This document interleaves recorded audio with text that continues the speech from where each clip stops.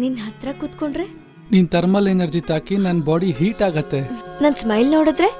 Tensile stress ಜಾಸ್ತಿ ಆಗಿ ನನ್ನ ಹಾರ್ಟ್ ಫ್ರಾಕ್ಚರ್ ಆಗತ್ತೆ. ನಿನ್ನ ಟಚ್ ಮಾಡಿದ್ರೆ? ಕರೆಂಟ್ ಪಾಸ್ ಆಗಿ ಎಲೆಕ್ಟ್ರೋ ಮ್ಯಾಗ್ನೆಟಿಕ್ ಫೋರ್ಸ್ ಕ್ರಿಯೇಟ್ ಆಗತ್ತೆ. ನಿನ್ನ ಕಿಸ್ ಮಾಡಿದ್ರೆ? ಹಾಸ್ಪಿಟಲ್ಗೆ ಅಡ್ಮಿಟ್ ಆಗ್ಬೇಕಾಗತ್ತೆ. ಆಗ್ಲಿ ಬಿಡು. ಅಡ್ಮಿಟ್ ಆಗೋದು ನಾನಲ್ಲ. ಒಂಬತ್ತು ತಿಂಗಳಾದ್ಮೇಲೆ ನೀನು.